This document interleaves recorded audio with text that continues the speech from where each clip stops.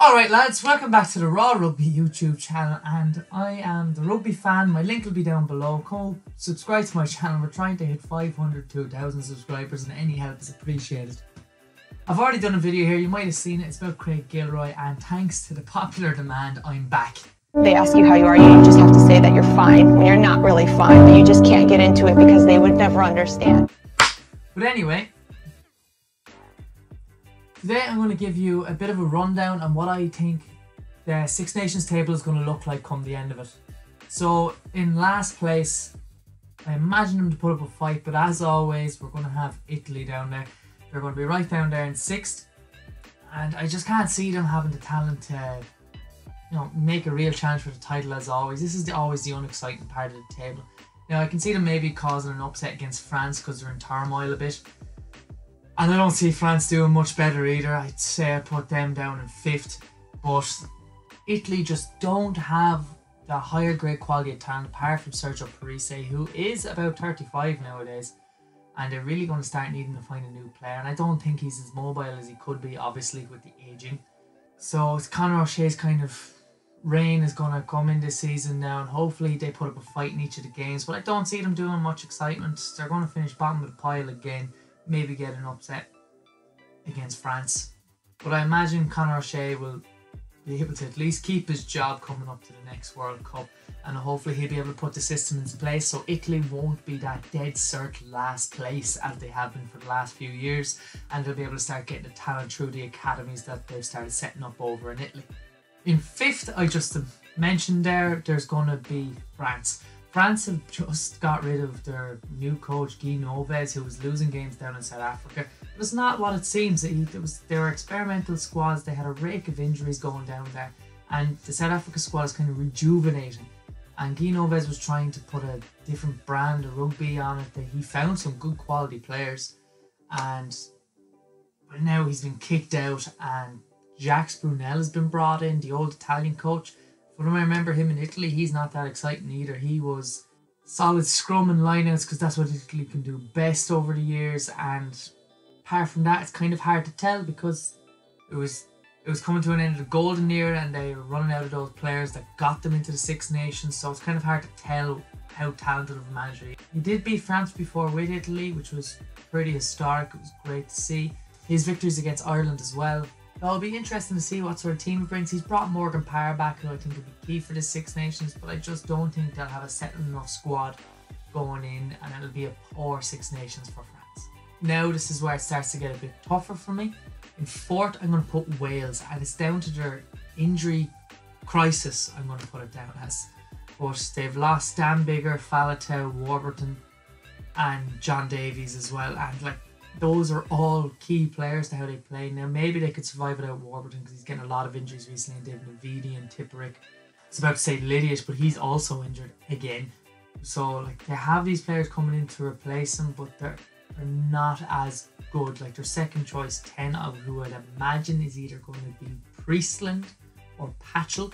I'm not sure what other options there are. Comment down below if you can tell me any other options.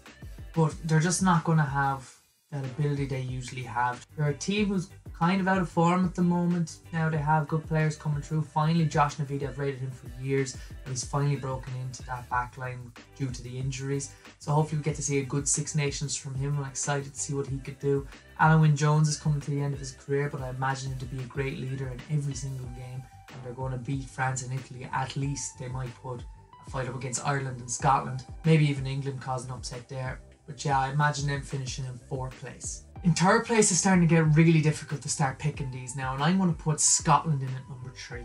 It is not because I think Scotland are the third best team there. I think their coach is just untested at this level. Gregor Townsend, he was a great manager for Glasgow Warriors, and for him to transfer that across the international stage, I imagine there's going to be some teething problems this season. And with the veterans of international management that is Joe Schmidt and Eddie Jones. And not veterans has been there for decades. They just have their game plans set. They are very experienced coaches. They have this game plan. They know their players. They trust their players. And the team is generally quite settled, the two of them. Scotland still young, still exciting, still brilliant. There's players come back from injury like Mark Bennett. They have greats like Huw Jones in there. John Barclay's in great form still. So they probably have the best back three in the Six Nations with Hamish Watson, John Barclay, and Ryan Wilson. Also very exciting youngsters like Stuart McInally, who I imagine to be he has the potential to be one of the best hookers in the Northern Hemisphere, at least if he keeps going the way he's going. He's a very good talent, and hopefully, I get to see him in the number two jersey throughout this Six Nations. And of course, they have their catalyst of any attack, and that's Stuart Hogg. He is incredible. He can win games on his own. He did so against Ireland last year, and I imagine him going to put up a great fight this year again. But unfortunately, I only see him finishing in third place. In second place, I see Ireland finishing there. They don't have their greatest squad that they've had in years. Johnny Sexton seems to keep getting injured, so if he stays fit for all six games, I see us putting up a great challenge against England. But we also have very tough away fixtures this year. Only two home fixtures, so it's our tougher Six Nations year. And hopefully, we want a big fight against two eventual winners, who I think are going to be England. Purely because Eddie Jones is the most talented coach in the Six Nations. He himself has brought England up from the very boring Stuart Lancaster side to the exciting squad that they have now. They have the likes of Itoje coming through. They have Elliot Daly in the back three, who was brilliant. They have Owen Farrell, nominated World Player of the Year and nominated European Player of the Year. So they have these incredible players, and with the likes of a coach of Eddie Jones on top, I think they're just going to pip Ireland to the post and probably beat them beat them themselves. Ireland always seem to play well against England, but this year I'm not sure. But just because of our inexperienced talent, we have raw talents like Jordan Larmour and Jacob Stockdale coming through who can change games, but we're missing a very good player in Simon Zebo and experience, so we're losing a bit in attack when I imagine Rob Kearney's going to be starting. And of course, we've lost Gary Ringrose, another great talent. He's gone through injury for the first couple of games. So that's going to leave us a bit blunt in attack with an inexperienced international in Bundee Aki, although I imagine him to play well. So overall in this Six Nations, it's one of the toughest ones to predict and one of the most exciting ones to be there. I leave a list of my predictions there on the side. Um, if you like the video, like, comment, subscribe, subscribe to this channel, subscribe to my channel. And let me know if you're excited about this Six Nations. Probably one of the toughest ones to predict, but probably one of the most exciting ones to watch in, in any of the years we've ever watched them even Italy look like they're going to put up a fight, although I said they'd finish last. And one last thing, guys, before I go again, I'd like to thank you so, so much from this channel for getting me up to the 200 and something subscribers I'm on now. I'm not sure because when the first video went out, I only had 50. So thank you so much, and hopefully, I can hit more landmarks coming soon. Alright, good luck.